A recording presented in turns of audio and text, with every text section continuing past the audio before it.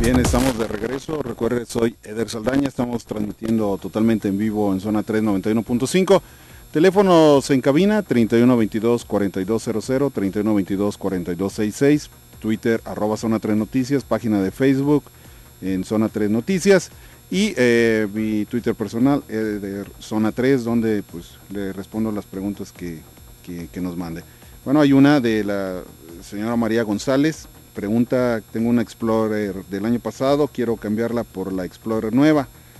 Eh, ¿Es recomendable el cambio o me quedo con la que tengo? Bueno, eh, la Explorer, eh, Ford Explorer 2014, pues es una muy buena camioneta. La verdad es excelente, es un V6, una con caja de velocidades perfecta, tres filas de, de asientos, espacio suficiente.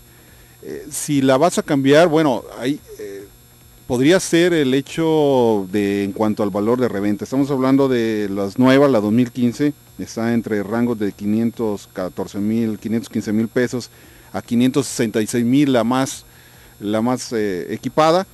En valor de reventa, en estos momentos tu camioneta está sobre 480. Si es por cuestión económica, es una excelente opción.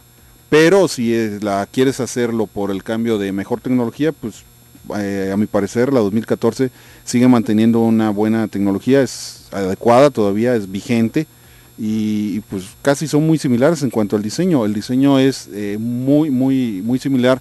Pocas cosas, si, si tu camioneta es eh, de las económicas o de la versión más económica y quieres saltar a una mejor, bueno, es excelente opción porque pues lo que es el, el sistema de cambios en la, en la Explorer espectacular.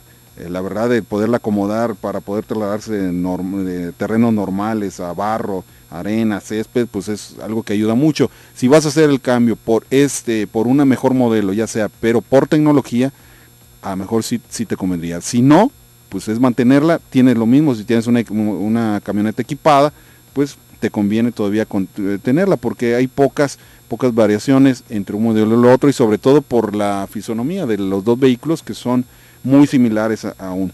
Bueno, eh, regresando un poco con lo que es la, comparativa entre el Chevrolet Spark y el Hyundai y Grand i10, eh, comentarles que el Spark mantiene dos, dos versiones adicionales a lo que es la LS, la LT y la LTZ.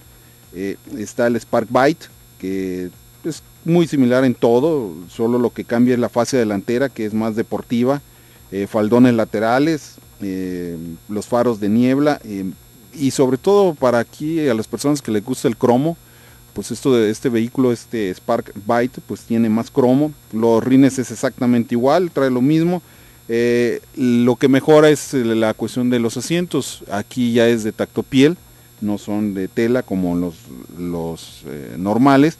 Y los detalles sobre todo de color rojo y verde muy metálico pues llama mucho la atención. Esto, esta versión es más hacia el eh, segmento más juvenil, eh, ya, ya traes rines deportivos, pero pues también está para los gustos. Si usted le, le agrada un vehículo un poco más eh, equipado que los de las tres versiones que le acabo de mencionar y no lo quiere tan chillón con los colores, bueno, pues está también el Spark Dot.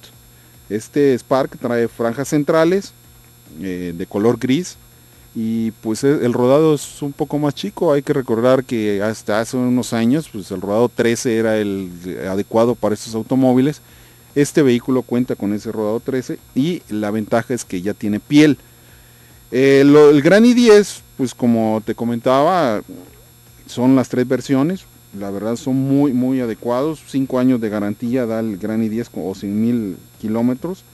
Las cajas son cinco velocidades. Hicimos pruebas de, de velocidad para saber más o menos a cuánto podría circular y una velocidad promedio de 160 es lo máximo que puede dar estos vehículos un poquito más quizás el Gran i10, pero pues, suficientes para poder circular en alguna de las maxipistas que tenemos en el país, siempre y cuando vayas solo. Si vas acompañado con dos, eh, con dos amigos más, tu novia o tu esposa y tú, pues ya estos vehículos empiezan a sufrir porque pues te darán velocidades promedio de 120, en los cuales pues en algunos casos, en algunas carreteras, pues es suficiente.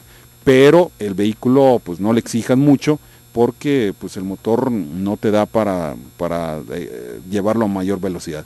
Es muy importante saber que estos automóviles, al ser estándar, tiene uno que saber cómo eh, revolucionarlos. Hay muchas personas que si no están acostumbradas a estas cuestiones de llevarlos a los límites, las velocidades, pues eh, van a notar que es un vehículo un, burrito o de esos que llamamos que no da mucha potencia.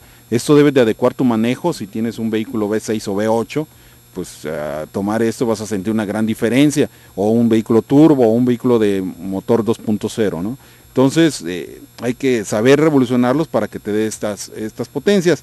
Eh, cosas buenas del Spark, eh, lo que te mencionaba, la parrilla es muy atractiva, lo que el volante se puede ajustar con todo el tablero, no tiene ruidos, eh, avisa, tiene para avisar que está conectado el cinturón, la suspensión es muy buena, la caja eh, de este auto pues es, muy amplia y esto ayuda mucho. Las cuestiones buenas del Gran i10, los colores en el interior me gustan, son atractivos, los asientos tipo cubo y ergonómicamente diseñados y muy importante la columna de la, de la dirección asistida electrónicamente se, ayuda mucho. La bandeja eh, que tiene debajo el asiento también para las mujeres es muy adecuado. Eh, y para los hombres, para llevar un, orden que no estén las piezas rodando pues, sobre todo el vehículo, tiene una, pequeña pues, bandeja en la parte de abajo y ahí puede usted colocar las cosas. Eh, lo, lo, malo del i10 es la dirección que es muy suave y sobre todo pues el saber revolucionarlo. Así que pues ahí está, lo malo del Spark, la cajuela y que la llanta es temporal, eso no, me agradó mucho, ya deberíamos de tener en este tipo de vehículos pues automóviles que puedan quitarle y ponerle la llanta sin hacerlo de manera temporal de unos pocos kilómetros. Bien, el día de mañana estaremos en este programa, preguntas sobre vehículos o motocicletas, pues con mucho gusto estaremos dándole pues eh, una satisfacción en cuanto a sus preguntas y pues conducir con calma, con precaución y nos, nos sintonizamos mañana.